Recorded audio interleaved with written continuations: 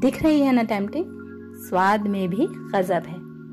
कद्दू आपका फेवरेट ना हो जाए तो कहना। यहाँ पर मैंने लिया है 250 ग्राम कद्दू। इसका छिलका हटा देंगे।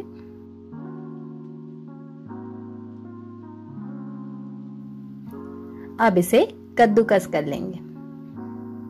तैयार है। आँच पर पैन रखा, इसमें डाला एक टेबलस्पून एडिबल ऑयल। अब डाला एक चम्मच जीरा, एक चम्मच राई और एक चम्मच सौंफ। कुछ करी पत्ता, दो हरी मिर्च बारीक कटी हुई, लहसुन की चार पाँच कलियों को कद्दूकस करके डाला।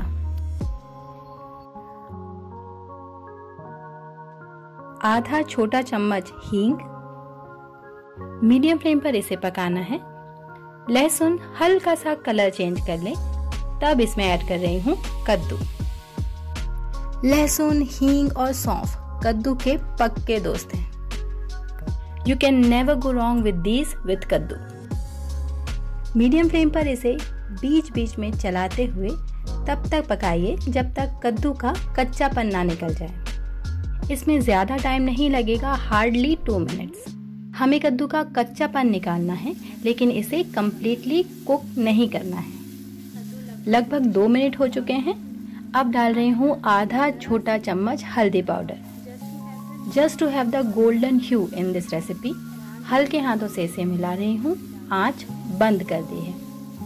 इसके बाद ऐड कर रही हूँ एक छोटा चम्मच चिली फ्लेक्स मिला दिया। नमक अभी नहीं डालना है। यहाँ पर मैंने लिया है डेढ़ कटोरी फिटा हुआ दही। इसमें ऐड कर रही हूँ कद्दू का मसाला। बहुत प्यार से, हल्के हाथों से हमें इसे मिलाना है ताकि कद्दू के लच्छे टूटे नहीं। हमने कद्दू को कम्प्लीटली कुक नहीं किया है। कद्दू की न्यूट्रिएंट वैल्यू और उसका क्रंच दोनों बरकरार हैं। इससे स्वाद कई गुना बढ़ जाता है। अगर आप इसे उबाल कर बनाएँगे तो पानी के साथ उसकी न्यूट्रिएंट वैल्यूज़ और स्वाद भी चला जाता है। यहाँ पर मेरे पास है ड्राई पुदीना लीव्स उसे हाथों से क्रश करके इसमें मिला रही हूँ।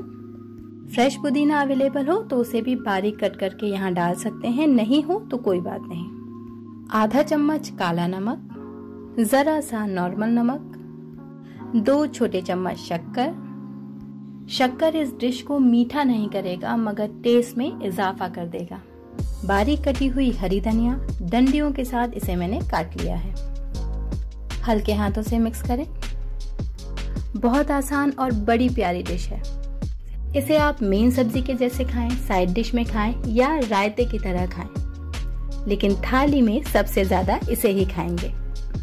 गार्निश किया चिली फ्लेक्स से।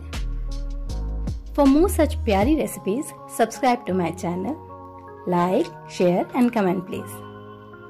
Namaste.